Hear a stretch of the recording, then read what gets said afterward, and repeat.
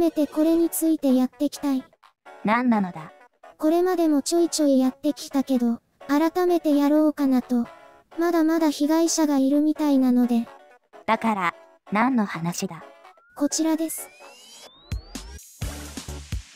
赤ヘラクライスト。その通り。いろいろと物議を醸すやつだな。で、先日、このようなものが出品されたわけよ。こちらが表。で、裏。綺麗だな。出品者もこう書いてるしね。これがどうしたというのだ？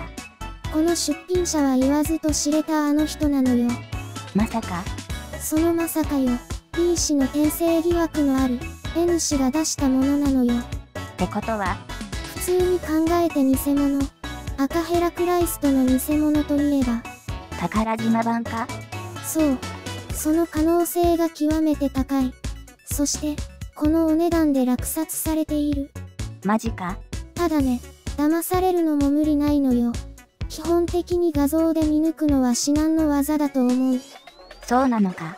手元に来ればわかると思うけど、画像だけで見抜くのは難しい。初心者ならなおさらだと思う。スーパーゼウスの時は、違いがあったが。ところがね、このヘラクライズとは基本的に違いはない。旧チョコバンと比べても、違いはないとは思う。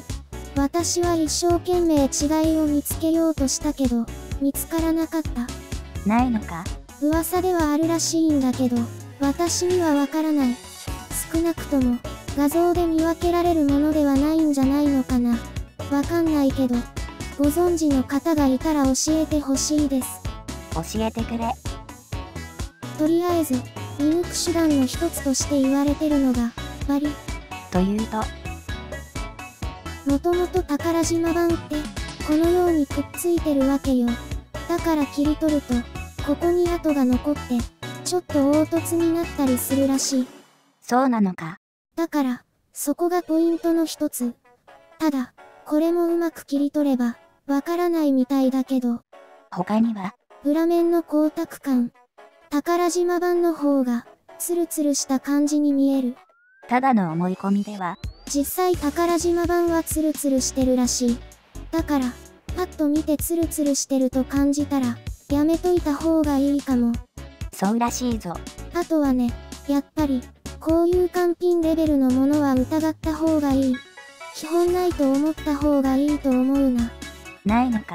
あるところにはあるとは思うけど、出ればコレクターの中でも噂になるから、情報のアンテナは張っといた方がいいかもね。情報化社会。というわけで、赤ヘラクライストは偽物が多いので、本当に気をつけてね。という動画でした。宝島版とは罪深いな。